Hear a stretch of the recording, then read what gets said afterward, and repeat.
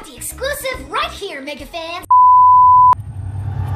2 out of 10 on IMDb is absolutely insane. For some reason DreamWorks just dropped Megamind 2 and told absolutely no one, a project that could make them millions of dollars at the box office. Oh, it turns out it's because it's pretty much start to end AI generated. Don't believe me?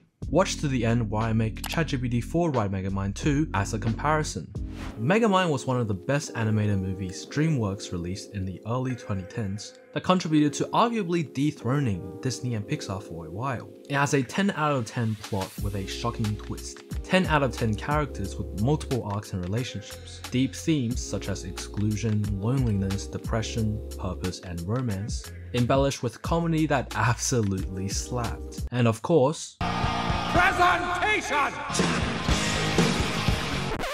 Yeah, well, somewhere along the line between 2010 and 2024, Presentation picked itself up from the project and completely jumped off a bridge. Somehow the animation in 2024 is worse than it was in 2011. If someone started a GoFundMe to make their own Megamind 2, it would have a higher budget than this. But we're not that shallow, we don't need all of that superficial stuff. It's what's on the inside that matters and what's on the inside is a hot pile of AI dog shit. The characters just gone thrown into the AI blender. Megamind is completely different and not at all intelligent. Roxanne and Megamind no longer have any romance. Minion is now named Chum, what the actual AI The new characters are terrible and exist for the sake of existing. I know the target audience is obviously towards younger children this time around, but even toddlers wouldn't like these characters. Just look at some of these ridiculous AI generated NPC names. Machiavillain, Lady Doppler, Behemoth, Peer Pressure,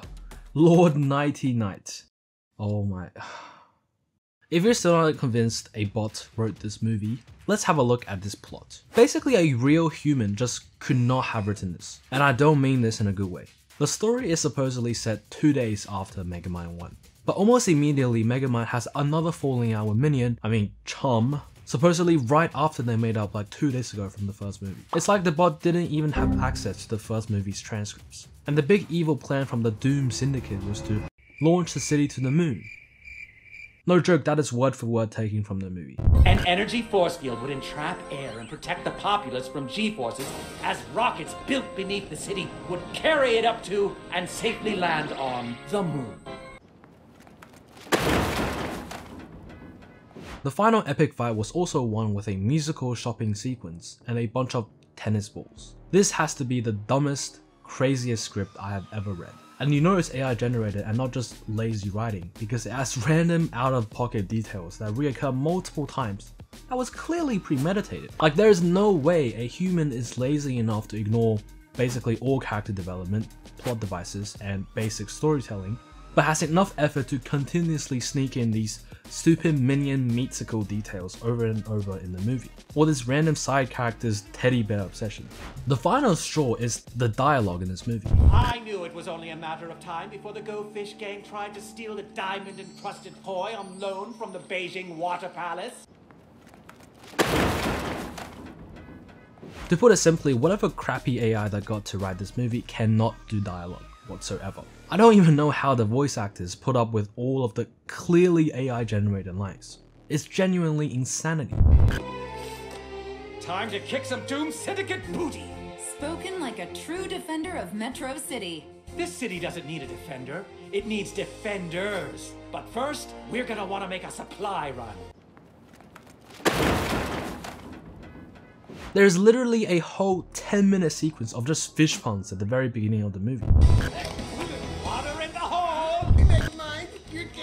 Like the Titanic, a total disaster. You were great villains, but as heroes, you guys are all wet! It's so obvious as well that they asked the chatbot to spice things up and make it sound more human and put in some jokes.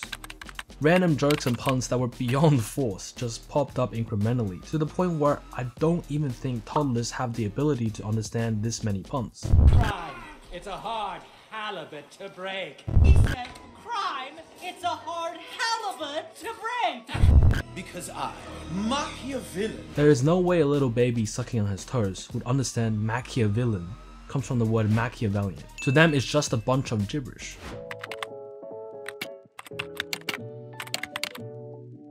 Megamind 2 Rise of the Mind. Act 1 New Threats. Megamind and Metro Man keep peace in the city until a new villain, Technox, incapacitates Metro Man with advanced technology. Megamind faces a crisis as Technox ideals challenge his own reformed beliefs. Act 2 The Test of Ideals. Struggling with his identity, Megamind discovers a device to enhance intellect and decides to use it on himself despite risks to defeat Technox. Roxanne and Minion support him, reminding him of his heroic transformation. Act 3 Mind over Might. Enhanced Megamind outsmarts Technox in a reality-bending battle, offering him redemption.